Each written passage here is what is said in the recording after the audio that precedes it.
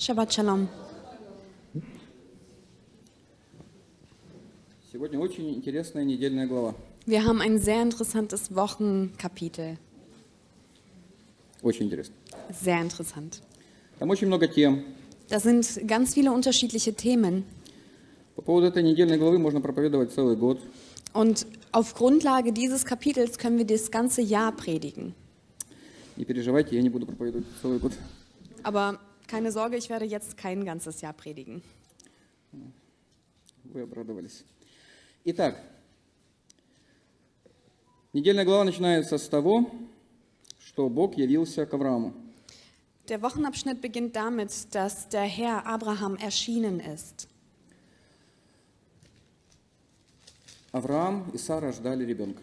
Abraham und Sarah haben auf ein Kind gewartet. Очень долго ждали. Lange Zeit haben sie gewartet. Им обещали, Man hat ihnen verheißen и э, Бог ему постоянно говорил, все будет хорошо. und der Herr sagte immer wieder, alles wird gut. Они понимали, что все будет хорошо, Und sie haben verstanden, dass alles gut wird. но ничего ж хорошего не было. Aber nichts war gut. Ребенка не было. Das Kind war noch nicht da. И поэтому они вот так и жили. Und deswegen haben sie genau so auch weitergelebt. И вот эта недельная глава, она вот нам рассказывает об этом обещанном сыне. Und dieses Wochenkapitel erzählt uns von dem verheißenen Sohn. В начале этой главы, 18 его еще нет, его еще только обещают. Am Anfang des 18. Kapitels gibt es den Sohn noch nicht, er ist nur verheißen. А в конце этой недельной главы, в 22 главе, Und am Ende des Kapitels, am Ende des 22. Kapitels, я вам уже расскажу, чем закончится эта недельная глава, ich äh, sage i- euch, was, womit dieses Kapitel endet, его уже приносят в жертву. soll er geopfert werden, der Sohn. Но мы об этом еще поговорим. Darüber werden wir noch sprechen. Итак, ожидание сына. Die Erwartung des Sohnes. Бог постоянно его утешает, Авраама. Der Herr hat Abraham immer wieder getröstet. И глава могла бы быть намного короче. Und das Kapitel hätte viel kürzer sein können. Сын будет, Es wird einen Sohn geben, одно предложение. ein Satz. Второе предложение, сын родился. Der zweite Satz, der Sohn ist geboren. Но тут в этой главе, она очень красивая, эта глава. Aber in diesem Kapitel ist es wunderschön. Ты когда ч- начинаешь это читать, там он встал, он побежал, он приготовил.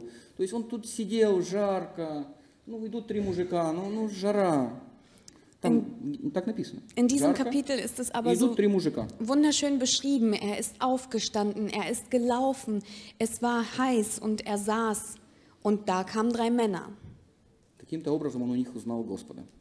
Stopp. Он в них узнал Господа. Und er Что hat это? in diesen drei Männern den Herrn erkannt.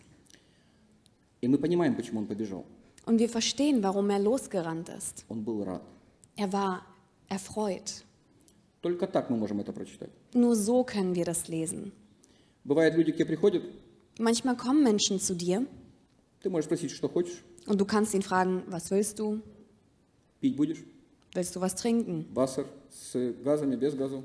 Stilles Wasser oder mit Bläschen, Blubberbläschen.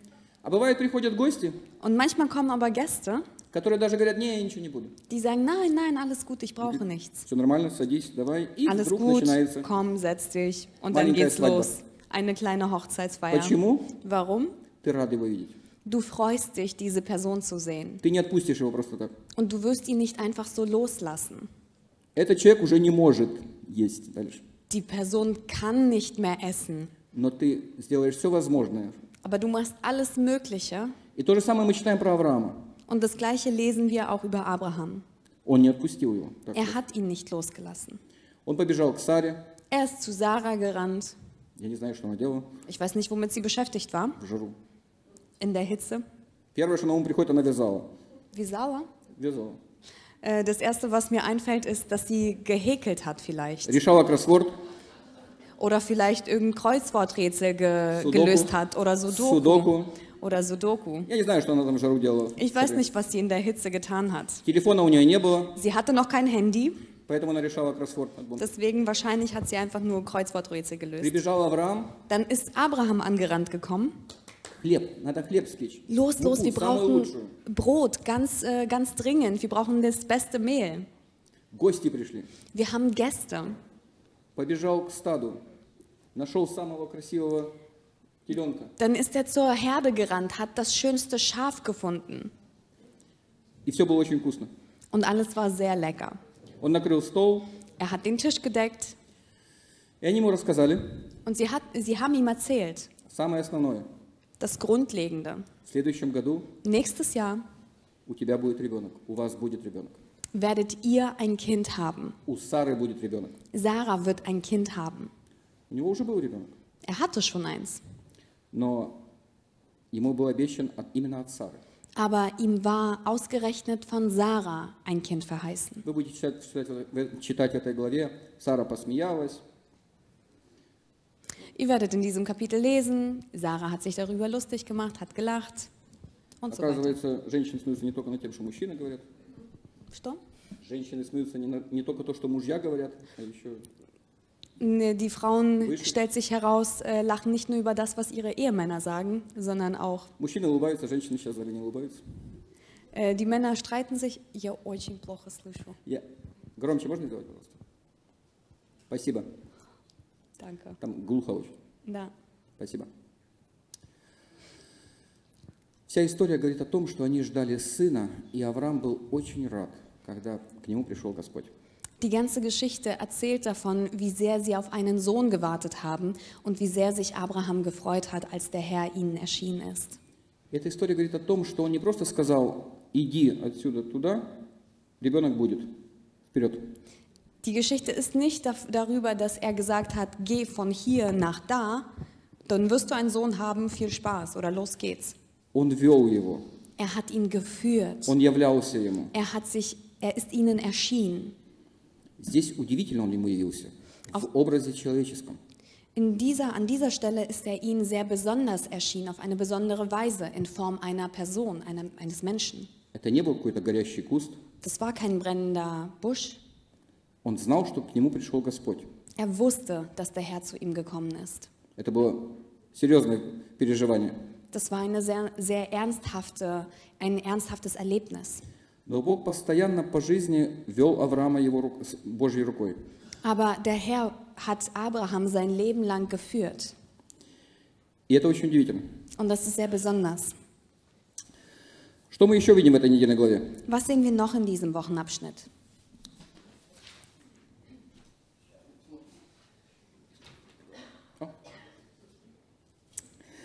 Мы видим историю по поводу Содома и Гоморры. Wir sehen die Geschichte über Sa Sodom und Gomorra. Злые люди жили там, Äh, böse Menschen leben dort. и, как обычно бывает со злыми людьми, Und wie es gewöhnlicherweise mit bösen Menschen vor sich geht, их нужно наказать, sie müssen bestraft werden. с ними должно что-то произойти. Irgendwas muss mit ihnen geschehen. И, по идее, да. Und eigentlich ja schon. Но тут интересны два стиха. Aber hier sind interessante zwei Verse. Откройте, пожалуйста, 18 главу, давайте прочитаем 20 и 21 стихи. Lasst uns das erste Buch Mose im 18. Kapitel öffnen und die Verse 20 und 21 lesen. 18 глава, Kapitel 18, стихи 20 и 21. Die Verse 20 und 21. «И ка- сказал Господь, вопль Содомский и Гоморский велик он, и грех их тяжел он весьма. Сойду и посмотрю, точно ли они поступают так, каков вопль на них, восходящий ко мне, или нет, узнаю».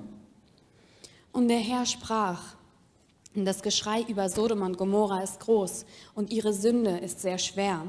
Darum will ich hinabsteigen und sehen, ob sie es wirklich ganz nach dem Geschrei über sie getrieben haben, das vor mich gekommen ist, oder ob nicht. Ich will es wissen. Ну, по идее, уже услышал, уже знал, Бог все знает, злые люди. Нет. An sich hat er gehört, er hat es gesehen, er wusste es, es sind böse Menschen, aber nein. Он говорит, я пойду на всякий случай еще раз проверю. Er sagt, sicherheitshalber gehe ich selbst nochmal hin und äh, bin mir dann sicher. Как будто бы здесь написано, мало ли что люди говорят, пойду сам посмотрю. Es ist so, als würde hier sch- geschrieben stehen, es ist nicht wichtig, was die Menschen sagen könnten. Ich muss selbst überzeugt davon sein. И вот он идет, мы читаем, в, этот, го- в эти города, чтобы проверить, действительно там все так плохо. Und wir lesen, dass er selbst in diese Städte geht, um zu überprüfen, ob es wirklich so schlecht ist. Интересно, что происходит с Авраамом Interessant, was mit Abraham в passiert это время. in dieser Zeit. Он знает, что они плохие. Er weiß, dass sie böse sind. Он мог бы сказать, замечательно. Er hätte sagen können, super. Они плохие, Sie sind böse, так им и нужно. dann geschieht ihnen ganz recht. Но здесь происходит что-то интересное. Aber hier passiert etwas ganz Interessantes. Авраам просит за них. Abraham bittet für sie И он говорит, und er sagt, а может быть там есть кто-то правильный. vielleicht ist unter diesen Menschen ja ein Gerechter. И Авраам начинает просить о них, Und Abraham fängt an, für sie zu bitten, за этих людей, für diese Menschen, чтобы у них еще был шанс. dass sie noch eine Chance bekommen. И Бог начинает с Авраамом торговаться. Und Abraham fängt an, mit dem Herrn zu verhandeln. 50, 50, 45, 45, 40, 40, 35, 35, 20. 20. Сколько праведников там будет? Wie viele Gerechte sollen es da geben? И вы прекрасно знаете, они остановились на 10. Und ihr wisst genau, sie sind bei der Zahl 10 stehen geblieben. И вы прекрасно знаете, Und ihr wisst, сегодня это место читается во всех синагогах по всему лицу земли. diese Stelle wird heute in allen Synagogen auf äh, der ganzen Welt gelesen. Это недельная глава сегодняшняя. Das ist das heutige Wochenkapitel. И во всех синагогах должно быть 10 мужчин. Und in allen Synagogen sollten genau mindestens 10 Männer sein. Вот именно отсюда, из этого места пошло это обычай, что должно быть на собрании 10 мужчин. Genau aus dieser Stelle heraus entstand die Regelung, dass 10 Männer anwesend sein müssen. Да. 10 человек, 10 Männer, которые представляют праведников, die die Gerechten repräsentieren, которые представляют общину. die die Gemeinde repräsentieren. И там не нашлось этих десяти. Und dort sind keine 10 gefunden worden. И Господь пошел уничтожать Содом и Гоморру. Und der Herr machte sich auf, um Sodom und Gomorra zu vernichten.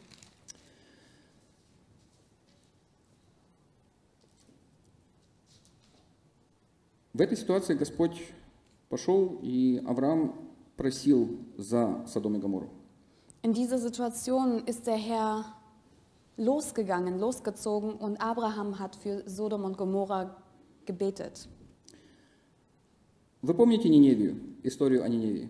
Erinnert ihr euch an die Geschichte über Ninive? Они были злые люди. Sie waren böse Menschen. Злые люди по отношению к Израилю и к другим людям. Böse in Bezug auf Israel und zu anderen Menschen. И даже когда Господь послал пророка Иону, Und als der Herr den Propheten Jona geschickt hat и сказал, иди проповедуй, und gesagt hat, geh hin und predige, их нужно уничтожить, но иди и проповедуй им. А вдруг? man muss sie eigentlich auslöschen, aber geh hin und predige. Vielleicht kann man sie noch retten. Вы прекрасно знаете, Иона сказал, «Мгм, сейчас. Им? Нет. Und ihr wisst genau, Jona sagte, "Mm, genau, den niemals. Он не просто был непослушный мальчик. Er war nicht nur ungehorsam, Мы прекрасно понимаем, wir wissen genau, он желал им смерти. er hat ihnen sogar den Tod gewünscht. Он не хотел, чтобы они жили. Er wollte nicht, dass sie am Leben bleiben. Он не хотел, чтобы они покаялись. Er wollte nicht, dass sie sich bekehren. Но история заканчивается тем, Aber die Geschichte endet damit, Иона пошел, dass Jona hingegangen ist проповедовал, und gepredigt hat. они покаялись. Und sie haben sich bekehrt. Иона был очень рад, вы помните. Jona hat sich sehr gefreut, ihr erinnert euch. Но сейчас не о Ионе дело. и Aber речь. jetzt ist die Rede nicht von Jona. Бог протянул руку к Ниневии, Der Herr streckte seinen Arm zu Ninive. и Он хотел, чтобы они ее увидели, почувствовали, Его любящую руку, и покаялись. Und er wollte, dass sie seine liebende Hand spüren, erkennen und sich bekehren. И это произошло, они жили. Und das ist auch geschehen. Sie sind am Leben geblieben. Послушайте, я хотел бы быть в тот момент, ну, не Ионой, но в том городе. Hört mal, ich wäre gerne, nicht unbedingt Jona, aber in dieser Stadt. Я хотел бы увидеть этих людей, которые были как, м, вели себя как звери. Ich würde sehr gern diese Menschen sehen, die sich benommen haben wie Tiere, но которые покаялись, die dann aber sich bekehrt haben. и Бог их простил. Und der Herr hat ihnen verziehen.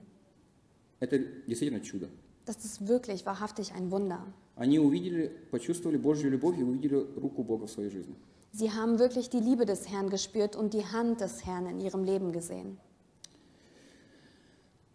Когда-то давным-давно мне рассказывали одну историю Vor langer Zeit wurde mir eine Geschichte erzählt о одной молодой семье, über eine junge Familie, которая со своим э, единственным в то время ребенком поехали куда-то на море отдыхать. die zu der damaligen Zeit mit ihrem einzigen Kind äh, zum Meer gefahren sind, Urlaub zu machen. Ну, там, где люди обычно отдыхали где-то на море.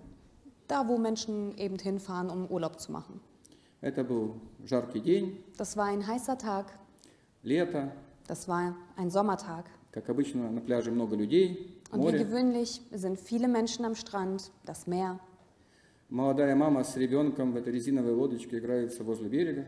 Und die junge Mama spielt mit ihrem kleinen Kind, mit ihrem Sohn in diesem Schlauchbötchen. И людей много, и все замечательно, все прекрасно. Und es sind viele Menschen da und das ist alles wunderbar. Но, как обычно, на море бывает вдруг какая-то небольшая волна, Aber wie es manchmal auch geschehen kann, gab es am Meer eine kleine Welle. накрыла маму, накрыла лодочку, Sowohl die Mama als auch das Boot war, waren bedeckt mit Wasser. Эта молодая женщина, она встала, Die junge Frau ist aufgestanden, взяла эту лодку, а она пустая. hat das, ähm, diese Luftmatratze, dieses Schlauchbötchen genommen und das war bele- äh, aber leer. И искать, надо искать этого маленького ребенка. Und sie fing an, das kleine Kind zu suchen. Вдруг, откуда ни возьмись, э, молодой папа появился здесь Und aus dem Nichts kam dann der junge Papa dazu, и искал, и нашел этого ребенка. Naschol. Нашел. Und er hat mitgesucht und auch das kleine Kind gefunden. И все, эта история закончилась хорошо. Und alles endete gut in dieser Geschichte. Это хорошо, когда рука отца находит ребенка утопающего. Es ist gut, wenn die väterliche Hand ein ertrinkendes Kind wiederfindet. Ребенок вырос, оставила ли это на него какое-то впечатление, эта Das- история? Kind ist erwachsen geworden. Hat diese Geschichte irgendein Trauma hinterlassen oder irgendeinen Abdruck? Никакого, он был очень маленьким. Nein, gar nicht. Er war noch ganz klein. Откуда я это знаю? Woher ich das weiß? Этот ребенок вырос, стоит перед вами, рассказывает о любящей руке отца. Dieses Kind steht vor euch und erzählt gerade über die liebende Hand des Vaters. Э, И я проповедую вам дальше Ich predige euch weiter о любящей руке отца, über die liebende Fa äh, Hand des Vaters, которая найдет вас die euch finden wird в любой ситуации. in jeglicher Situation. Что вам еще рассказать? Was soll ich euch noch erzählen? В 22 главе In dem Kapitel 22 мы читаем о любящей руке отца. lesen wir weiterhin über die liebende Hand des Vaters. Мы читаем о жертвоприношении Исаака. Wir lesen über die Opfergabe von Isaac. Только что его еще не было. Gerade war er noch nicht einmal da. Его так долго ждали. Man hat so lange auf ihn gewartet. И вот было сказано, Und dann wurde gesagt, положи его на жертвенник. lege ihn hin als Opfer auf den Altar. И вы прекрасно знаете эту ситуацию, Und ihr kennt diese Geschichte, эту историю совершенно верно. diese Geschichte. Да. Исааку не нужно было умирать. Isaac musste nicht sterben. Вместо Исаака был на жертвенник возложен овен.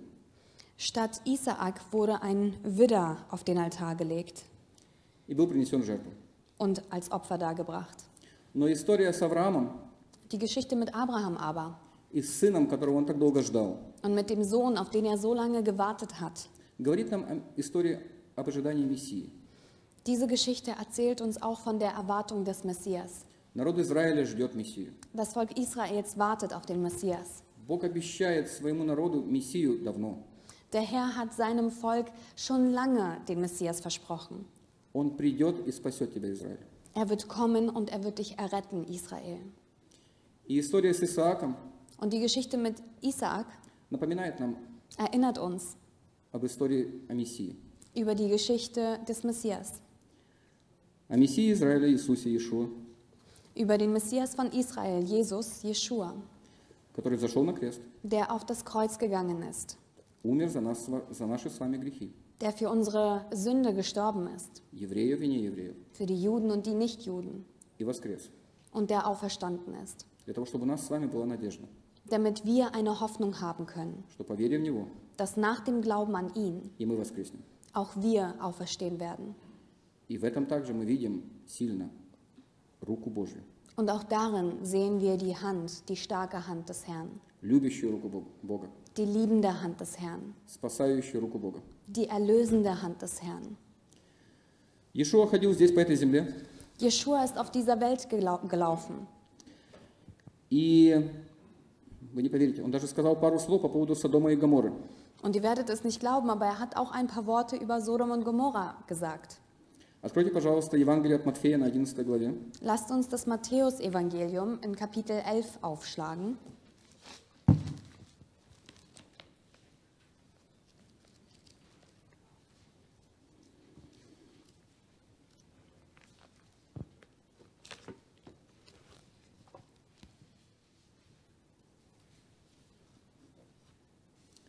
Мы будем читать с 20 стиха по 24.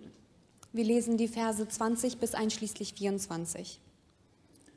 Евангелие от Матфея, 11 глава, с 20 стиха. Matthäusevangelium Kapitel 11, Verse 20 bis einschließlich 24. Тогда начал он укорять города, в которых наиболее явлено было сил его, за то, что они не покаялись. Горе тебе, Харизим, горе тебе, Вифсаида, ибо если бы в Тире и Сидоне явлены были э, силы, э, явлены были силы, явленные в вас, то давно бы они во вретище и пепле покаялись.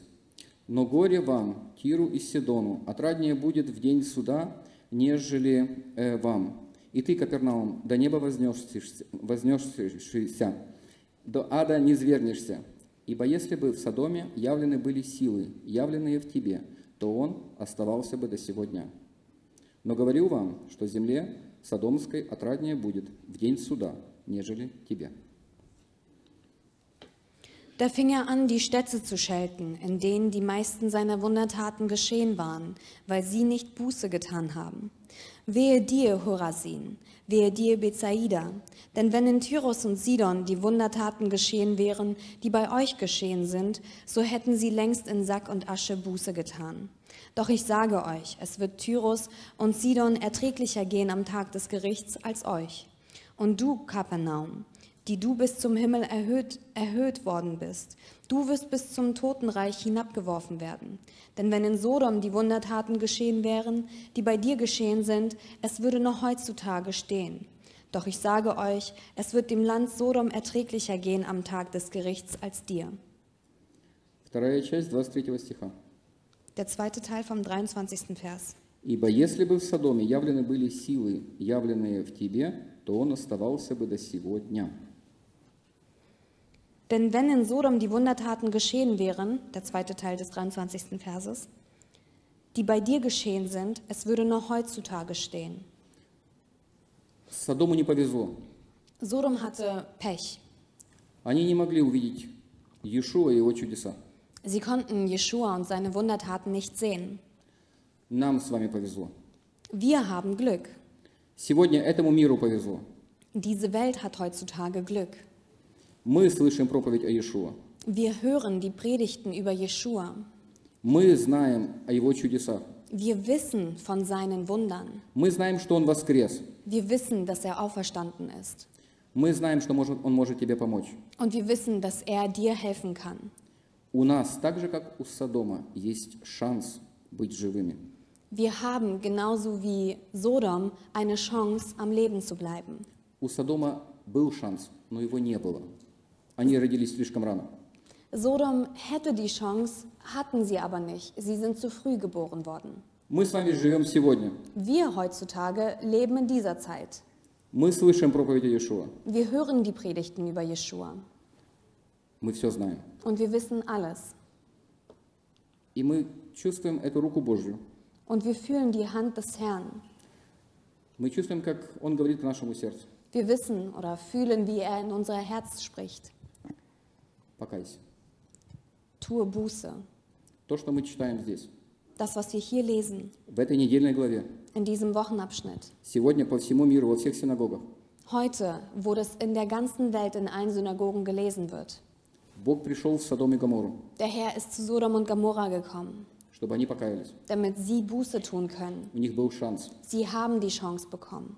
У нас сегодня с вами есть шанс Wir haben heute die Chance, покаяться. Buße zu tun. Давайте прочитаем Евангелие от Матфея дальше. Lasst uns das Matthäus-Evangelium weiterlesen, С 25 стиха. vom 25. Vers. В то время, продолжая речь, Иешуа сказал, «Славлю Тебя, Отче, Господи неба и земли, что Ты утаил это от мудрых и разумных и открыл том младенцам. Вот, Отче, ибо таково было Твое благоволение. Все предано мне Отцом моим, и никто не знает Сына, кроме Отца, и Отца не знает никто, кроме Сына, и кому Сын хочет открыть. Придите ко мне, все труждающиеся и обремененные, и я успокою вас.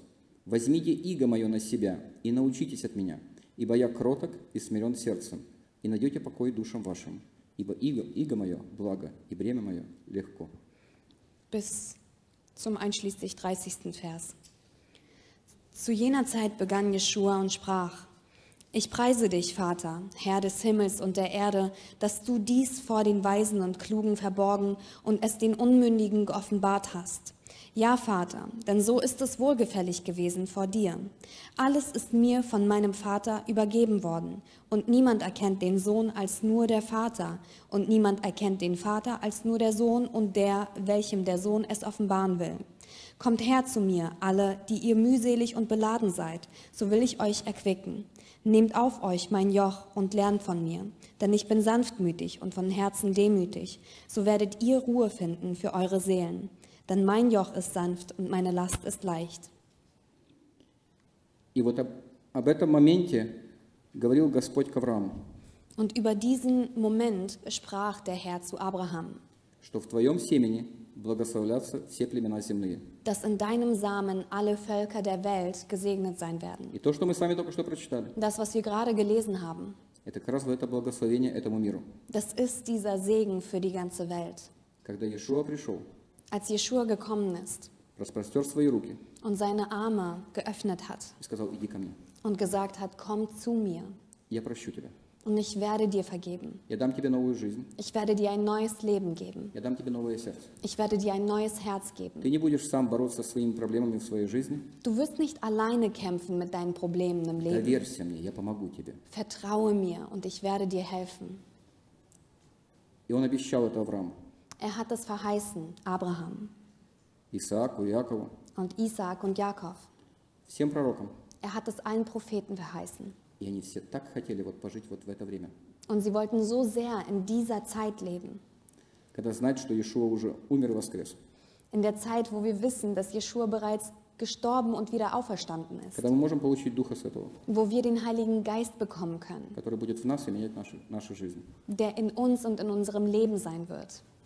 Сегодня у нас с вами Wir haben heute замечательный шанс, eine wunderbare Chance, когда рука Божья может коснуться каждого из нас. in der die Hand des Herrn jeden einzelnen von uns berühren kann. Любящая, Die liebende Hand, спасающая. die errettende Hand. И я хотел бы сейчас попросить вас, чтобы вы могли подняться и вместе помолиться. Ich möchte euch bitten, dass wir jetzt alle aufstehen und gemeinsam beten.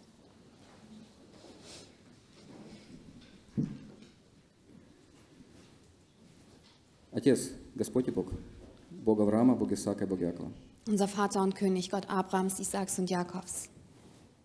спасибо Тебе за Твое Слово, Wir danken dir für dein Wort, за этот мир, für diese Welt за народ Твой Израиль. und für dein Volk Israel. Мы благодарны Тебе за Авраама, Исаака, Якова Wir danken dir für Abraham, Isaac und Jakob и обещания, которые были даны им. und die Verheißungen, die du ihnen gegeben hast. Отец, мы все, евреи и неевреи, преклоняемся пред Тобой и славим Тебя за милость Твою в Сыне Твоем, Мессии Израиля Иешуа. Vater, wir alle, Juden und Nichtjuden, wir verbeugen uns vor deiner Gnade in deinem Sohn, dem Messias Israels.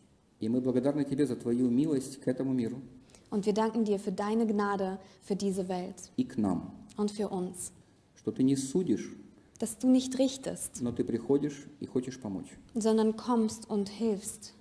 И мы славим Тебя за то, что суд еще будет, но сейчас Ты хочешь помочь.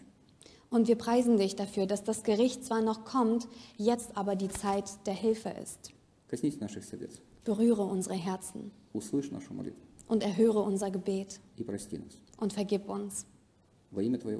Im Namen deines Sohnes. Im Namen Jeschuas. Vergib uns unsere Sünde. Amen. Amen. She, she. שיר, שיר, שיר לאדוני. שיר, שיר, שיר, שיר, שיר לאדוני. שיר לאדוני, שיר שיר חדש. שיר, שיר, שיר, שיר, שיר לאדוני. שיר, שיר, שיר, שיר, שיר לאדוני.